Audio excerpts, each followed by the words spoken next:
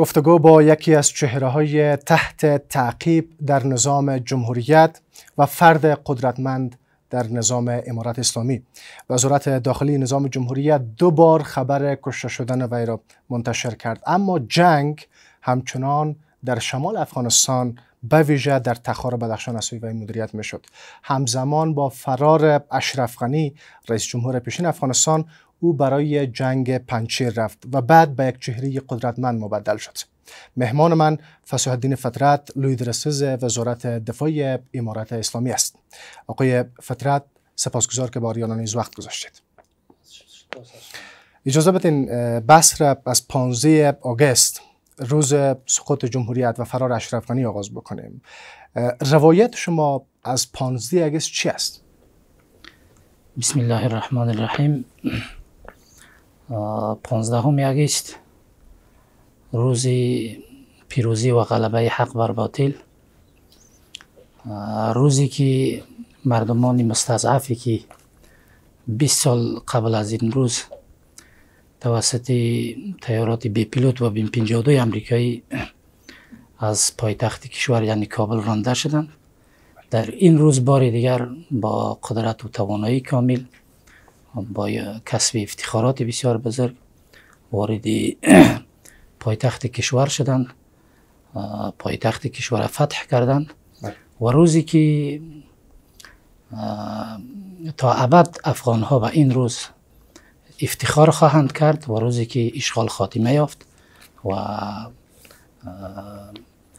افغانستان آزاد و مستقل شد.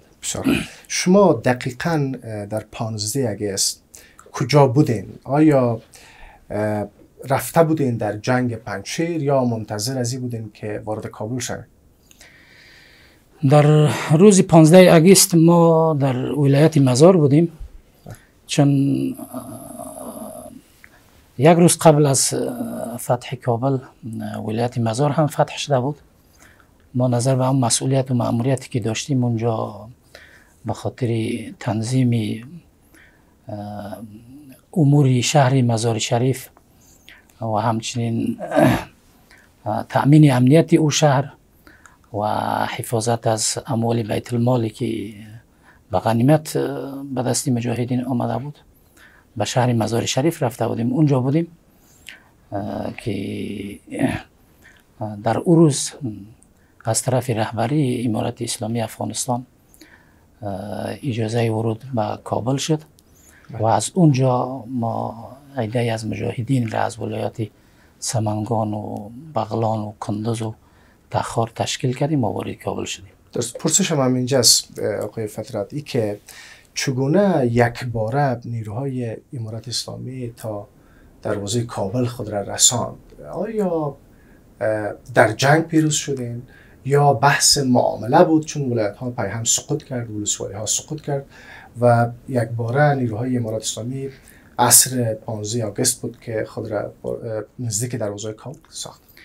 دقیقا بعد از اینکه آمریکایی ها به افغانستان تجاوز کردن و افغانستان اشغال کردن جنگ امارت اسلامی جهاد مجاهدین امارت اسلامی از آن وقت آغاز شده بود و ادامه داشت علیه نیروهای اشغالگر و کسایی که از او پشتیبانی می‌کردن از افغانا علیه از جنگ ادامه داشت. خب در اواخر چون از اینکه امریکا تصمیم گرفت که باید از افغانستان بیرون شود و جنگ در اینجا دیگر معنا نداره و مو اهدافی که داشت به او اهداف نرسید از طرف مجاهدین ضربات بسیار بزرگی بری از وارد شد.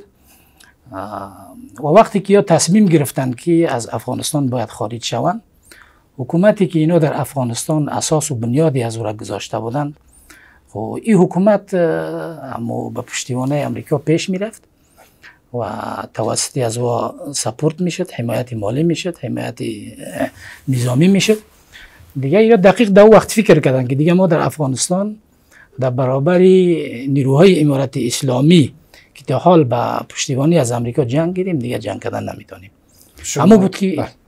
شما از اهداف آمریکا یاد کردین و گفتین که آمریکا به اهدافی که باید می‌رسید نرسید. اگر میشه بگوین که چه هدفی داشت آمریکا در افغانستان از جمله اهدافی از او تسخیر افغانستان به شکلی که دیگه در اینجا نیروهای جهادی و اسلامی اصلا حضور نداشته باشن وجود نداشته باشن. این بود که به این دست نیافت و نتونست که مجاهدین امارت اسلامی را به طور کلی که می‌خواست نابود بکنه. دیگه بعد از اینکه یا از این از طرف امریکایی ها جواب گفته شدن مایوس شدن و مو چون به توسط از جنگ می‌کردن. دیگه مورال از دست دادن. اما بود که سقوط ولسوالی ها ولایت ها و اخیرا منجر و فتح کابل شد و هم شروع شد. یک مورد دیگر شما اشاره کردین بحث سقوط مزار. یک روز پیش از که شما وارد کابل شدید درست؟ و گفتین که در مزار بودین.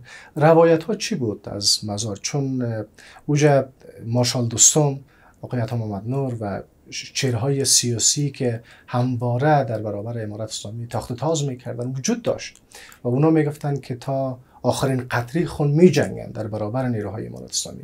چرا فرار کردن؟ دقیقا قسمی که من گفتم اونا متکی به امریکایی ها بودن چون از این ناحیه مایوس شده بودن نامید شده بودن که دیگر امریکایی ها با ما وفادار نیستن اینجا باقی نمیمانند اونا در حال فرار خودی از او هستن. دیگه اینا هم پیشتر از امریکایی ها هم فرار برقرار ترجیح دادن. و ایره اگرچه در زبان او می‌گفتن و می‌دانستن که در برابر مجاهدین امارت اسلامی اونا تاب و توان مقاومت و جنگ ندارن. درست. ولی بعد از که اونا فرار کردن صحبت های هم داشت در رسانه ها و توجیه کرد. فرارشان را افغانستان اونا گفتن که اشرف غنی برشان اجازه جنگ را نداد. حتی اونا را تسلیحات نظامی نکرد. کمک برشان نکرد. شما که مزار را گرفتین چه چیزایی از مانده بود؟ این صحبت هایی که از او کردن که اشرف غنی برشان اجازه نداد یا گویا معامله بوده در حقیقت یک بهانه هایی است که می‌خواهند که اما کاستی هایی که خیلی از او داشتن او را به چی بکنن خب در حقیقت وقتی بود که اشرف غنی هم در حالت فرار بود و تمام او نیروهایی که از او در مزار بود حتما زیر امری از او قمنده از او بود و اگر نیروها هم زیر قمنده از او نبود تسلیحات و تجهیزات و اما امکانات نظامی که بود همه از او در اختیاری از او بود ولی با وجودی از او او را گذاشتن و فرار کردن. و وقتی که ما وارد مزار شریف شدیم اما بیشترین امکاناتی که اردوی قبلی که آمریکایی ها در افغانستان ساخته بودن همونجا در ولایت مزار شریف بود در وقت. درست. منظورتان از ولایت مزار شریف یعنی نزد آقای دوستم یا عطا محمد نور یا پیش ارگان های امنیتی؟ از امور رایی که عطا محمد نور فرار کرده بود دوستم فرار کرده بود. دیگه اینا در حالی که همین نیروها را هم یزیر شکلی منسجم کرده بودن که باید از پول عبور بکنن. و تمام امکانات به طرف ازبکستان ببرن. ولی خوشبختانه که او طرف برشان اجازه ورود داده نشد به خاکی ازبکستان. باز همه او امکانات و تجهیزاتی که بود در حیرتان باقی ماند. که در همون روز ما خودمان در حیرتان بودیم. که نیروهای کماندوی از بود و دیگه امکانات و اسلحه و تجهیزاتی که در موتر بار کرده بودن می‌خواستن که ایره به طرف ازبکستان. ببرن همه اونجا باقی مانده بود. فقط خودی از او از او را فرار کرده بودن دیگه. همه امکانات اونجا موجود آقای فطرت روایت های زیادی وجود داره از این روز از روز سقوط مزار. هرچند شما در مورد تجهیزات نظامی گفتین که می‌خواستن ببرن ولی نتانستن گفته های وجود داره که این چهره های سیاسی می‌خواستن پول هنگفتی هم ببرن به کشور دیگر ولی موفق نشدن همون ماند. دیدگاه شما در این مورد چی است؟ دقیقا ممکن با خود پول را هم برده باشن اما ای تو پولی که هم گفتی که اونجا میبرده باشن و باز باقی مانده باشه و به دسترسی مجاهدین قرار گرفته باشه ای تو نبوده. در رابطه با ورودتان به کابل یاد کردین قرار بود امارت اسلامی وارد کابل نشد. من همان روز تعقیب می‌کردم خبرها را و اعلامیه داد آقای زبلا مجاهد و گفتن که نیروهای امارت اسلامی وارد کابل نمیشه و قدرت انتقال پیدا می‌کنه. پس چی شد در دقیقه 90 همه چیز به هم خورد. آقای غنی فرار کرد و نیروهای امارت اسلامی وارد کابل شد. قضیه چی بود؟ از قبل خو فیصله رهبری امارت اسلامی به همین شکل بود که اگر در کابل مجاهدین به زور وارد شوه ممکن در اونجا جنگ و خونریزی شوه و چیزی مشکلات ها به بار بیاید چون پایتخت کشور است. به همین اساس فیصله به این بود که باید مجاهدین به زور وارد کابل نشوند. و گفتگوها هم همراه از و چی بود؟ در جریان بود که به شکل مسلمت آمیز اگر انتقال قدرت شوه و اینا به شکل مسلمت آمیز پایتخت کابل کشور تحویل بدن به مجاهدین. یک روی حل برای ازی پیدا شوه. خو متاسفانه پیش از ای که این گفتگوها نتیجه بته اشرف غنی کابل ریها کرد و فرار کرد. بعد از او باز فیصله به شد که حالا ای که اشرف غنی فرار کرده و حالت سردرگمی در کابل آمدگی است. ممکن کسایی هستند که دست به تخریب و دیگه چپولی اموال, اموال مردم می‌زنند. به این خاطر مجاهدین به خاطر گرفتن امنیت کابل باید وارد کابل شوند. باز اجازه شد مجاهدین وارد کابل شدن انتقال قدرت آقای فترت آیا برنامه ریزی شده بود در دوحه؟ قبل از این هم گفتگوهای جریان داشت در دوحه گفتگوهای بین الافغانی و بعد از اینکه قبلا خود زیاد قلدری می‌کنن البته جانب مقابل جمهوریت. خب بعد از اینکه از طرف بادراشان چی شدن؟ اونم آماده بایی بودن ولی متاسفانه پیش از اینکه چی بکنن فرار کردن.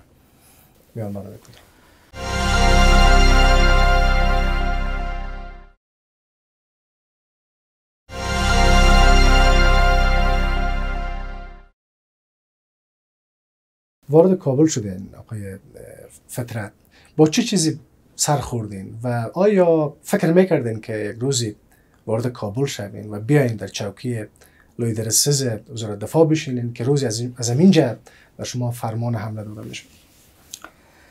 دقیقا این ما خو امیدواری ها داشتیم که یک روزی افغانستان به دستی فرزندای اصلی افغانستان میآید. و آمریکایی ها که از آمریکا آمدن به غرض اشغال خاک ما در اینجا دائم بودن نمی‌تونن و دائم هم نیستن نمی باشن چون تجربه هایی را ثابت کرده است و تجربه هایی را ثابت کرده بود که هیچ نیروی اشغالگر و امپراتوری در افغانستان به طور دائم و همیشه باقی نمونده بلکه شکست کرده این امیدواری ها بود و به یقین هم ما داشتیم. اما ای که وقتی کابل فتح شود و پیروزی بیاد که خودی ما باشیم. وارد کابل شویم فاتحانه. و در اینجا بیاییم در چوکی لوی دریسیز بشینیم. و این وظیفه برای ما محول شد و ایره فکر نمی‌کنیم. بسیار خوب. حال چه فکر می‌کنین؟ این چوکی بر شما امتیاز است یا مسئولیت؟ دقیقا که امتیاز نیست یک مسئولیت است که به دوشی ما سپارده شده است. بسیار خوب. اجازه بدید برگردیم به 15 اگست روزی که کابل سقوط کرد. شما فکر می‌کردن که حالا اگر کابل سقوط کرده ولی مقاومت در پنچیر ادامه پیدا می‌کنه. من می‌خوایم روایت شما رو بشنوم از پنچیر ای که پنچیر هم سقوط کرد. و تا جایی که من معلومات دارم شما مدیری جنگ بودین در پنچیر ما خب این متیقین بودیم که پنچیر تنها یک ولایت خرد و کوچک و او هم عده فراریایی که از کابل اونجا فرار کردن و پناه بردن اونا ابدا نمی‌توانند که در برابر مجاهدین امارت اسلامی که حالا تمام کشور ای تصرف کرده و زیر امو سلطه و چی خود داره نمی‌توانند که مقاومت بکنن به این ما یقین داشتیم ما باوری کامل داشتیم. دیگه باز هم از اینکه اونا اونجا فرار کرده بودن و از از مقاومت می‌زدن خب این تو نگرانی های داشت که برای خود مردم پنشیر در هنگامی از اینکه جنگ اونجا صورت می‌گیره صدم ماهی وارد شود به اساس در مراحل ابتدایی ما زیاد کوشش من بود که برای از وافع مانده شود که دیگه ای که آمریکایی ها نتونست اینجا در برابر امارت اسلامی مقاومت بکنه و جنگ بکنه و بعد از او ای حکومتی که وا ساخته بودن این نتونست فرار کرد. و شما یک ایده بسیار کم اینجا نمی‌توانید به این اساس یک راهی را در پیش بگیرید که نه خودتان متضرر شوید و نه مردم پنشیر متضرر بکنید. بعد از فتح کابل این گفتگوها با او ادامه داشت. با مردم های پنجشیر؟ بله با کسایی که فرار کرده بودن اونجا و سخن از مقاومت می‌زدن به اونا. و من شخصا خودم روی از این برنامه کار می‌کردم. و ای که مسئولیتی که جنگ پنشیر برای ما سپاریده شده باشد در وقت ای تو نبود بلکه در او زمان ما به حیثی اما تشکیلاتی را که امارت اسلامی در وقت داشت و تقسیماتی را که داشت 21 ولایت به صد 21 ولایت یک کمیسیون نظامی بود. و در این کمیسیون ما به حیث معاون بودم باز خصوصا ولایت های او طرف شمال. دیگه مربوط به من می‌شد و مسئولیتی ما بود. این مسئولیتی بود که یعنی از قبل بود. ایتونه که در وقت داده شده باشه به همین اساس ما زیاد تلاش می‌کنیم که دیگه از راهی مسلمت آمیز این موضوع پنشیر حل شد و جنگ نشد خب متاسفانه ما به خاطر یک کار دیگه در سفر طرف شمال بودیم که اونجا در اندراب ها کسای بغاوت کردن و مجاهدین ما که در ولسوالی اونجا بود محاصره کردن گرفتن ایده مجاهدین شهید کردن. خب بعد از این باز فرمان داده شد که حالا جبهه به طرف اندراب ها حرکت بکنه و جبهه دیگری از این طرف به طرف پنشیر خب باز هم دروازه گفتگو باز بود بله. و در مو هنگام اینجا نشستی هم صورت گرفت در منطقه پروان. خب متاسفانه نتیجه نشست بین کی ها آقای از او طرف کسایی که از طرف احمد مسعود که خود رهبر جبهه جبهه مقاومت می‌خواند بله. کسایی به نمایندگی از او بودن. از این طرف هم دیگه ایده از کسایی به نمایندگی امارت اسلامی نشست های صورت گرفت اما نتیجه نداد. درست. چی می‌خواستن؟ مشخصا خواستایشان چی بود از شما؟ خود در وقت اونا چیزی نمی‌خواستن که نمایندهشون قبل از اینکه چی بود؟ دو هم می‌خواست دورم می‌خواستن. ناممکن بود. دو شرایط. اگر مشخص بسازین مثلا چی می‌خواست از شما؟ ای که مثلا با پنشیر حمله نکنین یا اوجا نگیرین یا اوجا مسئولیتش به اونا بسپارین. موضوع موضوع حمله پنشیر نبود. خب از جمله یک موضوعی که اونا مطرح می‌کردن حکومتی چی می‌خواستن؟ فدرالی می‌خواستن یا تقسیم قدرت می‌خواستن شکلی پینجا پینجا که دایی آموخته هم بودن از دوره. چی جمهوریتی را می‌خواستن؟ خب این چیزا قابل قبول نبود برای امارت اسلامی. و سرانجام مذاکره به بنبست خورد و ناگزیر شدین که راه نظامی را در پیش بگیرین بله. درست. ما می‌خوایم باز مشخص بسازم که شخص شما در جنگ پنچیر و بدخشان چقدر نقش داره؟ در جنگ پنچیر و بدخشان خو تمام مجاهدین امارت اسلامی نقش داشتن و ما در پنچیر در بدخشان در اوایل مسئولیت ولایت بدخشان داشتم. بله. و مجاهدین امارت اسلامی را شخصا مخدم رهبری می‌کردم تا یک مدتی که بعد از این باز مسئولیتی ما بساتی دیگه 21 ولایت شد. باز اونجا مسئولیت به یکی از برادرای دیگه سپاریده شد و ما هم در پهلوی مجاهدین بودیم. اونجا دیگه در اندراب ها چه میگذره آقای فطرت؟ چون ما همه روزه شاهد عزیزیم که گزارش ها نشر میشه ویدیو ها نشر میشه در شبکه های اجتماعی در فیسبوک و اینا. و شما رو متهم می‌کنن نیروهای امارات اسلامی را به نقض حقوق بشر متهم می‌کنن. حتی سازمان های جهانی هم گزارش نشر می‌کنن و میگن که امارات اسلامی متهم نقض حقوق بشر است در پنچیر و اندراب ها دیدگاه شما چیست؟ اتهامات بیمورود و به است دیگه در اونجا گزاره و رویه مجاهدین با مردم بیخی مثبت است. حتی در وقت جنگ هم شکل کنترل شد جنگ. و شکل مدیریت شد که به اهالی ملکی به مردم هیچ نه آسیب و ضرری نرسید. دیگه حالی خب الحمدلله امنیت است. و فرزندای خودی هم مردم است که در اونجا امنیتی و مردم تامین می‌کنن دیگه ای گزارش ها به اساس و به مورید است بدون سند است. و کسایی که اوجا در برابر نیروهای امارت اسلامی میجنگن کی هستند؟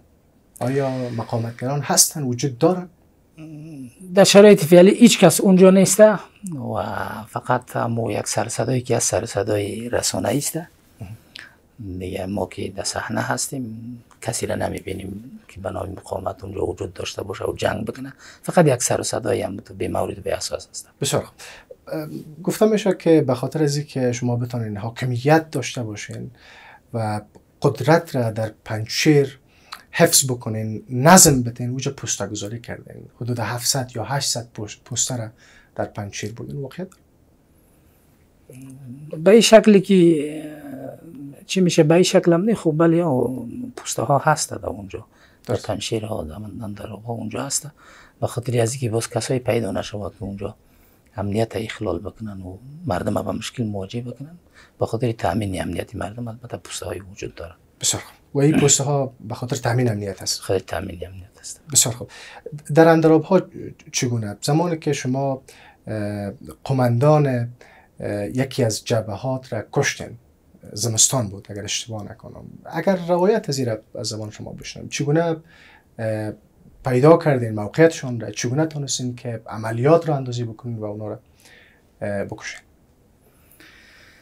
ای خو در مراحل ابتدایی ما را اعلان کردیم ما گفتیم که هر کسی که بخواهد که بار دیگه افغانستان به سوی جنگ ببرد و بله. امنیت اخلال بکنه با چنین سرنوشتی دچار می شود و طبیعی بود که همون کسایی که سر و صدا می اندازن گاه گاه که گویا اینجا مقاومتی وجود داره این ما هستند که امنیت اخلال می‌کنن. خود طبعا ای که جای از او پیدا شد و مجاهدین به خاطر گرفتاریشان رفتن مقاومت کردن کشته شدن. چرا؟ اجازه بدید برگردیم کابل. زمانی که حاکمیت دوباره امارات اسلامی در افغانستان شکل گرفت چه چیزایی مانده بود؟ منظورم تسلیحات نظامی است. چون ما شاهد گزارش های ضد نقیز هستیم از سوی کمیتی روابط خارجی مجلس صنایع آمریکا و نهادهای دیگر. اونا میگن که ارزش 16 میلیارد دلار تسلیحات نظامی در افغانستان مانده. و یک تعدادشان میگن نه به ارزش 8 میلیارد دلار. دیدگاه شما چی است؟ چقدر تسلیحات نظامی و به چه ارزش تسلیحات نظامی از نظام جمهوریت به شما؟ تمام او تسلیحات نظامی که اونا در اینجا در افغانستان برای جنگ آورده بودن و همچنین اردوی را که اونا از خود افغانستان ساختن برای از تقسیم کرده بودن. خب بعد از اینکه شکست کردن و رفتن همه از اینجا باقی ماند و به دسترس امارت اسلامی قرار گرفته و در دسترس از هست. یکی به ارزش 16 میلیارد بیشتر یا کمتر خب ممکن باشد.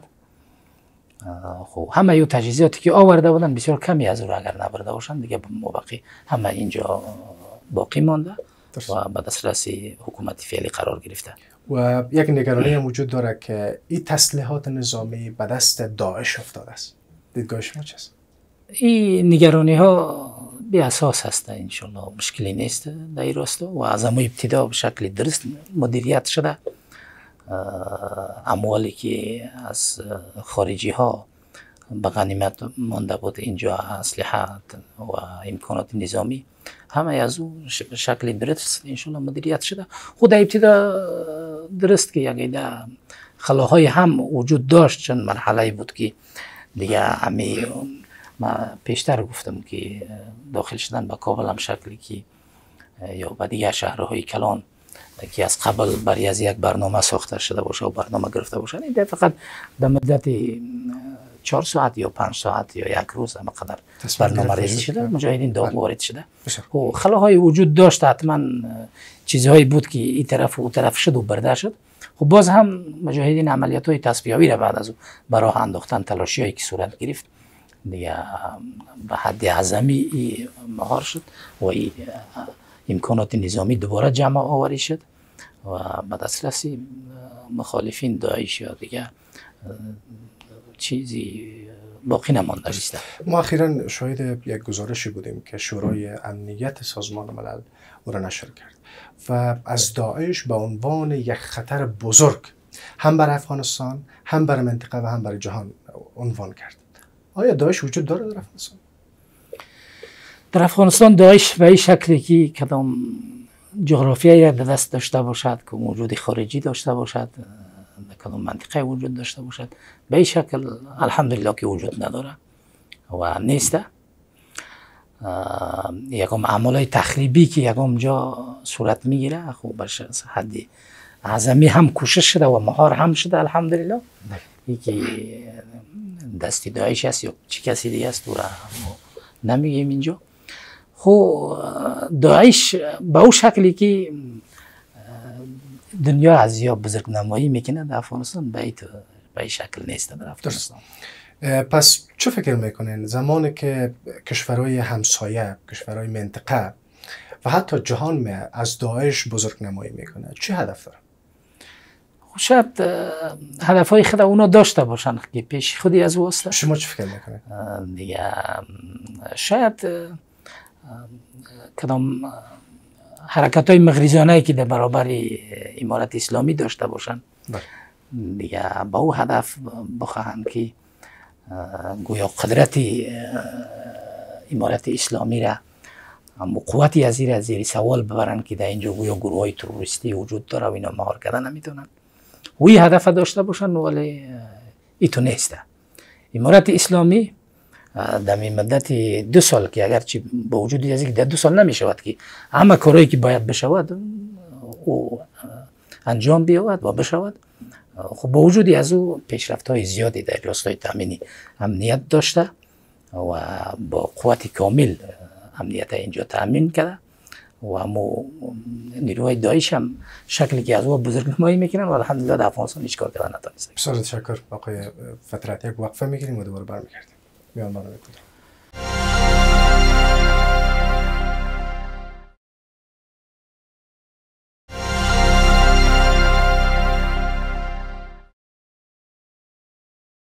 به ادامه باز هم خوش آمدید. فطرت سی چون بحث داعش است ما می‌خوایم بیشتر روی این موضوع بپردازم لویدرسیز ایالات متحده آمریکا گفته بود که ممکن حملات هواییشان در آینده های پس از خروج از افغانستان هماهنگ میشه با امارت اسلامی.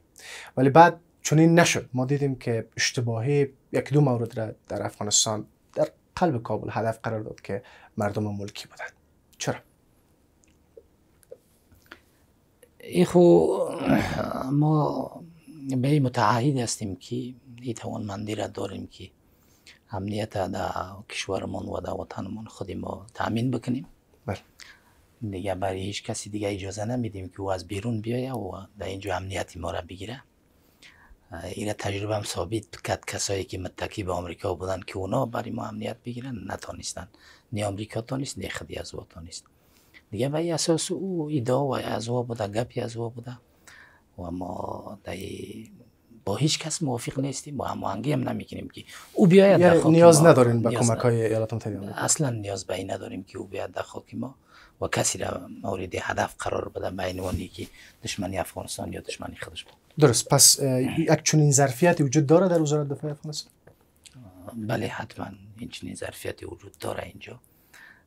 که ما خودمان امنیت کشورمان خودمان بگیریم. بسیار خوب. پس بیایم روی ظرفیت های وزارت دفاع بیشتر تمرکز بکنیم. تعداد نیروها چقدر است؟ آقای فترت چون اخیرا شما گفته بودین که در کمترین زمان افغانستان شاهد یک اردوی منظم و قوی خواهد بود و او زمان رسیده؟ بله الحمدلله در مدت بسیار کم که دیگه دو سال می شود بله. دیگه ما تانستیم که تعداد نیروها مانه به صد هزار بعدا به یک صد و پینجا هزار دیگه و در حال, حاضر... در حال حاضر هم ما تصمیم داریم که نیروها را ازی بالاتر بریم که در سالی در می سالی روان انشاءالله تعداد نیروهای ما تا به 182 هزار نفر می‌رسه و باز امو ضرورت ها را دیده اگر ضرورت بود تا به 200 هزار تصمیم هست انشاءالله بله. افغانستان به چقدر اردو نیاز داره؟ افغانستان خو در شرایط فعلی خو نظر به مو امکاناتی که دارد. یا تا 200 هزار نیرو انشاءالله کفایت می‌کنه. 200 هزار. و این نیروها کلانترین کاری که می‌کنه چی است؟ دفاع از افغانستان است یا مسائل دیگر هم انجام میده؟ مثلا عملیات هاست عملیات های تصفیوی است و کارهای دیگه بزرگترین مسئولیت از یا دفاع از افغانستان است و برای تطبیق حاکمیت ملی اینجا کار می‌کنند بسیار امکانات نظامی ای اردو چقدر است؟ آقای فترت چون ما در نظام گذشته زمانی که میپرسیدیم از مسئولین اونا می‌گفتن که نیروها مجهز است با دوربین های شبین با سلاح های اینفور و سلاح های بسیار پیشرفته. حال ما می‌خوایم بدانیم که آیا اون چنان ظرفیتی که در نظام جمهوریت بود و تجهیزاتی که در اختیار اردوی آن زمان گذاشته شده بود حالا هست یا نه؟ بله از او ظرفیتی که در او اردو بوده. دیگه انشاءالله العزیز از او کده بیشتر و بالاتر ظرفیت در اردو وجود داره. بله. و تسلیحات نظامی که از امو اردوی قبلی چقدر بود او در اختیار اردوی فعلی قرار داره. دیگه شما خبر دارین که مجاهدین امارت اسلامی که در برابر نیروهای آمریکایی و اردوی که وا ساخته بودن جنگ می‌کردن و ایام دستی خالی نبودن تسلیحات نظامی داشتن و او هم در اختیارشون هستن. و در شرایط فعلی الحمدلله کفایت کننده است برای اردوی اسلامی افغانستان. بسیار TTP در افغانستان است آقای فطرت؟ TTP در افغانستان نه. در کجاست؟ چون پاکستان همواره انگشت انتقاد را طرف افغانستان می‌گیره. و زمانی که حمله به پاکستان میشه افغانستان متهم میشه سوی پاکستان. چرا؟ TTP در پاکستان حضور داره و در اونجا که عملیات می‌کنه دقیقا که همونجاست کی است و کسایی که از پاکستان هستن و داخل خاک پاکستان هستن. بله. پس چرا پاکستان به خودش اجازه میده که داخل خاک افغانستان و حملات رو اندازی بکنه و یک قسمتی از خست را اگر اشتباه نکنم اونا بمباردمان کردن سال گذشته و چند هفته پیش هم یک حمله هوایی صورت گرفت. و گفته شد که مهاجرین پاکستانی مورد حمله قرار گرفتن. ای خو کم ظرفیتی خودی از ورا نشان میده که دشمن در داخل خاک خودشان است و او رو متهم می‌کنند همسایهشونه دیگه افغانستانه اونا دشمنشون در داخل خاک خودشان باید بپالن. همونجا هست دشمنشون و کشورشون کوشش بکنن که امنیتش تأمین بکنن. در یک ناتوان بودن این ناتوانی خود بالای کسی دیگه چی نکنن. درست. و ایره ما خب بارها گفتیم که نه به پاکستان و نه به هیچ کشور دیگه اجازه میتیم که دشمنش در اینجا بپاله و در اینجا بزنه و در اینجا حمله بکنه بالای افغانستان. دیگه مواردی که شما گفتین مثلا هفته قبلی که حمله هوایی دقیقا او را سخنگوی امارت اسلامی هم جواب گفتن برای از او. و در اون ارتباط تحقیقات هم صورت گرفته حمله هوایی نبوده. چی بوده؟ یک انفجاری بوده که اونجا صورت گرفته. بسیار آقای فترت پاکستان اگر صحبت های لوی پاکستان را همتای شما متوجه شده باشین اونا بیشتر به زور متوسل میشن. و هشدار دادن که اگر مقام های امارت اسلامی. همچنان از تی حمایت بکنه و اجازه بدن که حملاتی که در خاک پاکستان میشه او حملات در افغانستان تحریز شود از زور کار می‌گیرن پاسخ شما چیست؟ و شما گفتین که دشمنشان در خاک خودشان است. اونا عملا میگه ما از زور کار می‌گیریم. ما خو بارها گفتیم که چیزی را که ما تعهد سپاریدیم که از افغانستان ای اجازه داده نمی شود که از این خاک بالای هیچ کشور دیگه حمله شود یا حمله در اینجا تحریزی شود. ایره ابدا ما اجازه نمیدیم و این مسئولیتی ایمانی وجدانی ماست که هر کسی که بخواد اینجا جای بگیرد و از اینجا طرح ریزی حمله را بالای یک کشور دیگه بکند دیگه ما برای از او اجازه نمیدیم. و اگر با بحانه های مختلف با دروغ با ها کسایی بخواهند که باز هم همو تعهدات امارت اسلامی را زیر سوال ببرند و به زور متوسل شوند ما افغان ها خو در برابر زور دیگه اقدام ما و عکس عمل ما چیست؟ ایرا به دنیا ثابت کرده گستیم و دنیا میدانه که هر کس که اینجا به زور متوسل شده دیگه با بسیار زیلت و خاری کامل. از اینجا باز فرار کرده رسوا شده. و این پاسخ نهاییتان به پاکستان است؟ پاکستان و هر کشوری بخواه که اینجا به زور متوسل شود و زور کار بگیره دقیقا که جوابی زور به زور است. یک چیزی ما افغان است. بسیار با سیاسیون رابط دارید؟ آقای فطرت همراهشون صحبت کردید؟ امارت اسلامی افغانستان یک کمیسیون را تشکیل بله. داده شاید خبر باشین. برگشت, برگشت و دعوت شخصیت هایی که از افغانستان فرار کرده ایستند بله. بنابر وجوهاتی. و در او کمیسیون شخصی خودی ما هم عضویت دارم. دیگه به ما اساس که یکی از مسئولیت های ماست. بله رابطه ها برقرار شده و هر کدامی از او دعوت شده. نگرانی هایی که وجود داشته برشان پاسخ داده شده سوالاتی بوده در این مورد. اگر کسایی بوده که زیادی از کسایی بوده که واپس شده به افغانستان آمده و کسایی که نامدن ما می‌خوایم در رابطه با اونا دیدگاه شما رو داشته باشیم. با آقای صلاح الدین ربانی صحبت کردید خب شخصا خودی من خو نه صحبت نکردیم. دیگه اما دعوتی که بوده مسئولیت ما بوده. برای هر فردی از او رساندیم که پس دوباره به وطن بر بگردن جوابشون چی بوده؟ خب البته خواسته هایی دارن. خواسته هایی دارن و ممکن از کدام ناحیه دیگه امیدواری هایی هم داشته باشن؟ خواستهایشان برمیگردیم به موضوعی که شما اشاره کردین.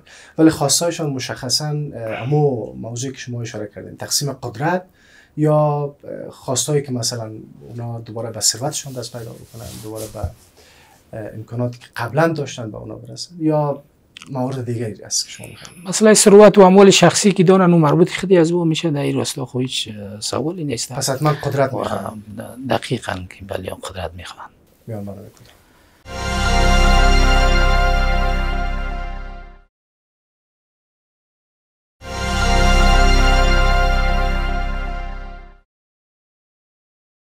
اخیرا اظهارات آقای دوستم را شما شاید شنیده باشید اونا در یک از رسانه ها صحبت کرد و گفت که اگر حمایت سیاسی امریکا را داشته باشه دوباره برمیگرده به افغانستان و جنگ می‌کنه باشه.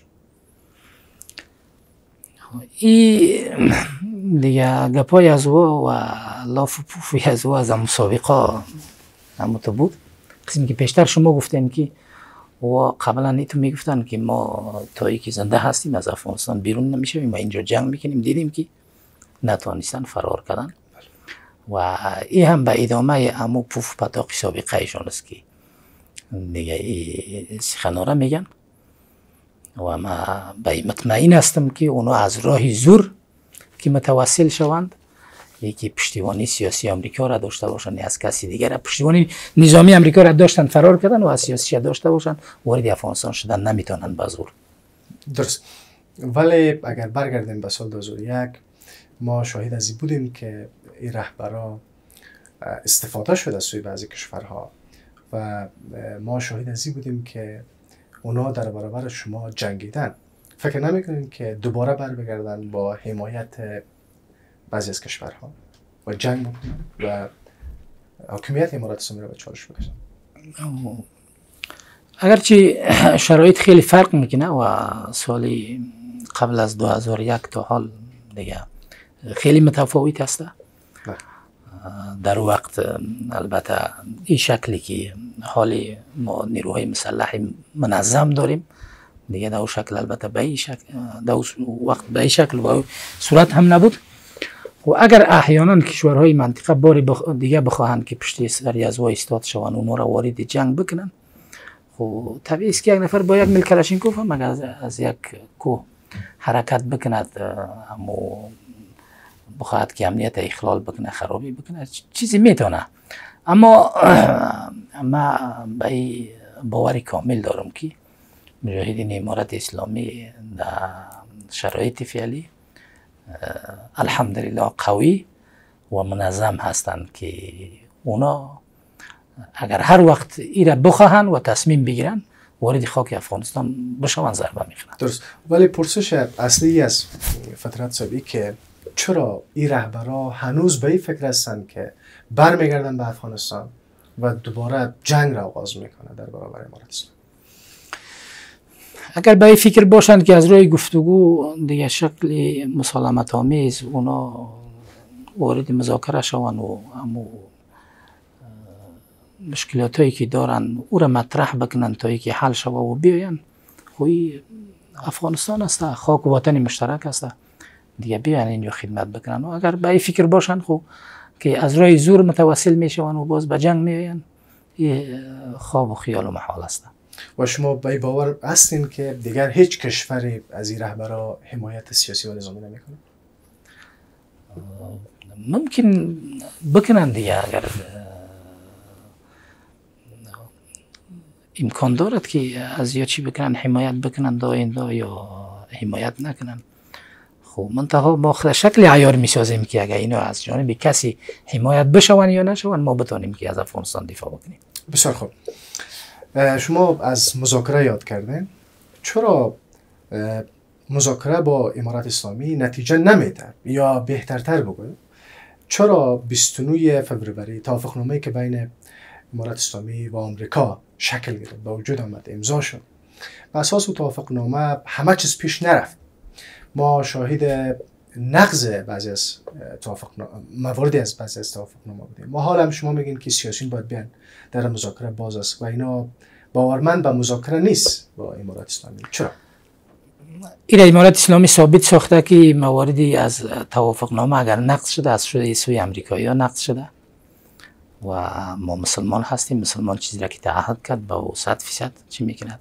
بله. عمل می‌کنه دیگه آمریکایی ها در افغانستان آمده بودن و افغانستان را اشغال کرده بودن با وجودی که جهاد علیه از ما فرض می‌دانستیم واجب می‌دانستیم. بعد از اینکه توافق نامه امضا شد و آتش بس شد خو یک فیرم طرفی از او نشد و صورت نگرفت. و تا حال ما تو موردی را نمی‌بینم که از طرف امارت اسلامی توافق شده باشه و اون نقض شده باشه. پس چه چیزی را آمریکا نقض کرد؟ کدام موارد را آمریکا نقض کرد؟ در اون وقتی که در افغانستان موجود بود زیادی از مواردی بود که نقض شد. بالای ما از طرفی از او حمله شد. حملات تیارات بدون سرنشین صورت گرفت. با توسط تیاره بین 52 دیگش حملات صورت گرفت که ما خودمون شاهدی از او بودیم. که این نقصی سریحی از او بود. دیگه بعد از او قسمی که شما می‌بینین. دیگه بارها حرمی هوایی ما نقص شده از طرفی از او. دیگه این نقص سریح یکی از مواردی توافق نام است. مثل از این زیاد موارد است که از طرفی از اون نقص شده. ولی زمانی که امارات اسلامی قدرت را به دست گرفت در کابل اعلامیه نشر شد از سوی مقام های ایالات متحده آمریکا و گفت که توافقنامه دوها را شما نقض کردین. توافقنامه دوهایی بود که شما از راه گفتگو باید قدرت را بگیرین و حال شما آمدین از طریق زور قدرت را گرفتیم و اونا گفتن که این مورد باعث میشه که ما شما رو به رسمیت نشناسیم. من خب پیشتر برای شما گفتم که ما کوشش کردیم که از راه زور دیگه قدرت را به دست نگیریم. هیچ راه دیگر وجود نداشت که ما وارد کابل نشویم وارد شهرهای بزرگ افغانستان نشویم و امنیت در اینجا تامین نکنیم وگرنه بسیار به بحران کلان می‌رفت افغانستان. درست. کی مقصر است؟ عرصه آقای فدرت چون ما با گذشت دو سال مشکل کلان امارات اسلامی است که هنوز رسمیت خود را به دست نگرفته. در عرصه کی مقصر است؟ آمریکا مقصر است. دقیقا آمریکایی ها و کسایی که در پهلوی از وستن اونا مقصر هستند کی هستند در پهلوی آمریکا؟ هستند دیگر کشورهایی که خب منظورتان شرکای آمریکا. بله. درست. آقای فدرت برای که برین به طرف رسمیت شناسی چی کار می‌کنه؟ امارت اسلامی افغانستان تمامی او شرایطی که یک حکومت باید داشته باشه او را دارد و باید به رسمیت شناخته شود. ای که به رسمیت شناخته نشده خب در عقیده ماست که افغانستان 20 سال اشغال بود. و او یک حکومتی را که اونا خودشان ساخته بودن اینجا و زیر اداره از کار می‌کرد او را به رسمیت شناخته بودن. اگر باز بخواهند که ایت یک حکومت امارت اسلامی داشته باشد ابدا غیر قابل قبول است برای درست. آیا مشخص شده که در گفتگوهایشان شما مشخصا چی می‌خواهید در بدل از که شما رو به رسمیت بشناسید یا هنوز مشخص نشده؟ خود چیزی که اونا می‌خواهند براتان پیشتر اشاره کردم که برای امارت اسلامی غیر قابل قبول است. این ابدا قبول نمی‌کنه. کسایی که اونا خودشون اینجا ورده بودن دست نشانده از او بود. زیر امری از او کار می‌کنه امارت اسلامی نمی‌کنه ایره. و ما افغانستان آزاد داریم مستقل داریم. خودش تصمیم می‌گیره خودش حرکت می‌کنه و هر تصمیم به دست خودی است درست. آیا سرحدات افغانستان امن است؟ الحمدلله. سرحدات افغانستان در حال حاضر امن است و هیچ مشکلی وجود نداره. برای از که بیشتر بتونید سرحدات افغانستان را کنترل بکنید چه کارهایی را کرده؟ پوست گذاری شده یا مکانهای نظامی رو بیشتر اونجا انتقال دادین؟ افراد را بیشتر ساختین؟ چه کرد؟ دیگه ما در تمام سرحدات لیوهای سرحدی داریم. دیگه پوسته ها ایجاد شده مراکز نظامی ایجاد شده برای کنترل بیشتر و درستر سرحدات. و ما در تشکیلات امسال من دیگه 44 درصد هم تشکیلات سرحدی مونه چی کردیم؟ اضافه کردیم تا ای که هم وظیفه یک حکومت اسلامی است که از سرحداتش باید حفاظت و حراست بکند اما پره شوه و یه وظیفه را پره بکنن این ما این کار را کردیم. بسیار مردم می‌پرسن آقای فترتی که چقدر دیگه باید منتظر بود که تا مشکل ما با همسایه ها حل شود؟ با ایران با تاجیکستان با پاکستان و کشورهای در حال حاضر خو یکم دیگه انتقادات است که طبعا میان همسایه ها گاه رد و بدل میشه. اما افغانستان با هم شد مشکلی نداره مشکلی وجود نداره. اینجا کدام مشکلی نیست و ما همیشه با کشورهای همسایه در گفتگو هستیم. اما تعاملاتی که میانی حکومت باید شود و می شود انجام میپذیرد. کدام مشکلی خاصی ما با همسایه من نداریم در شرایطی و به عنوان پرسش اخیر آقای فطرت پیامتان به مردم چیست